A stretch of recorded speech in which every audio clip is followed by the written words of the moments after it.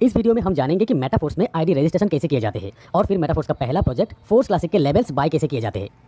ये स्क्रीन पे आप देख सकते हैं एक ट्रस्ट वॉलेट के वॉलेट बैलेंस 75 डाई और 8 मेटिक तीन लेवल प्रोसेस करके हम दिखाएँगे।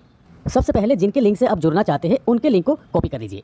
अब ट्रस्ट वॉलेट में ये नीचे डेप्स में क्लिक करना है आपको। अब ऊपर यहाँ पे सर्च बार में इस लिंक को पेस्ट कर देना है और फिर सर्च बार में ही टच करके की पैड को ऑन कर लेना है और की पैड में यहाँ से डन कर देना है।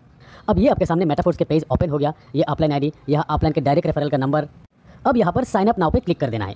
और फिर यहाँ पर वॉलेट सेलेक्ट करना है, मैं ट्रस्ट वॉलेट को सिलेक्ट कर दिया। अब आपके सामने आएँगे स्मार्ट कॉन्टेक्ट कॉल पेज नीचे यहाँ पर अप्रूव कर देना है। अब ये आपके सामने आ गया सक्सेसफुली रजिस्टर्ड आईडी रजिस्टर हो चुके हैं। ये है आपके आईडी और ये है आपके लिंक यहाँ से आप लिंक कॉपी करके किसी के साथ भी शेयर कर सकते हैं। अब स्क्रॉल करके नीचे देखिए क्लासिक का टेबल लेवल्स बाय करने के लिए यहाँ पर प्रीव्यू पे क्लिक कर देना है।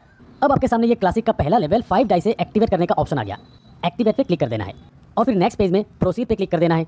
अब आपके सामने ये पेज आएँगे अप्रूव डाई कंफर्म कर देना है। ये आपके सामने एक्टिवेशन का प्रोसेस चल रहा है। अब इस पेज में फिर से अप्रूव कर देना है। Please wait the operation is processed ये लेवल वन एक्टिव हो गए। अब आपके सामने लेवल टू का एक्टिवेट का ऑप्शन आ जाएँगे, जो कि है दस डाई का। एक्टिवेट पे क्लिक कर देना है। नेक्स्ट प्रोसीड पे क्लिक कर देना है।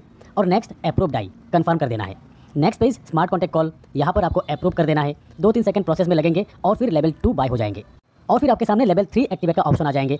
एक्टिवेट पे क्लिक कर देना है। देन प्रोसीड एक दो सेकंड में ही पॉलीगॉन डाई बैलेंस चेक करके next page approve DAI confirm कर देना है। ऑपरेशन प्रोसेस्ड मैटिक अप्रूव कर देना है। दो तीन सेकंड प्रोसेस और फिर लेवल थ्री भी बाय हो जाएँगे। बहुत ही सिंपल प्रोसेस अब यहाँ पर ऊपर थ्री लाइन पे क्लिक करके होम पेज पे आ सकते हैं आप, जहाँ पर आपके आईडी लिंक है। और फिर अब यहाँ पे क्लासिक टेबल में आप देख सकते हैं, तीन स्लॉट प्रोसेस हो चुके हैं। प्रीव्यू पे क्लिक करके अगर हाईएस्ट लेवल जो कि है यहाँ पे थर्ड लेवल वहाँ पे क्लिक कर देते हैं तो आप यहाँ पे ऑटो अपग्रेड का ऑप्शन देख सकते हैं। यहाँ से आप चाहे तो ऑफ़ भी कर सकते हो।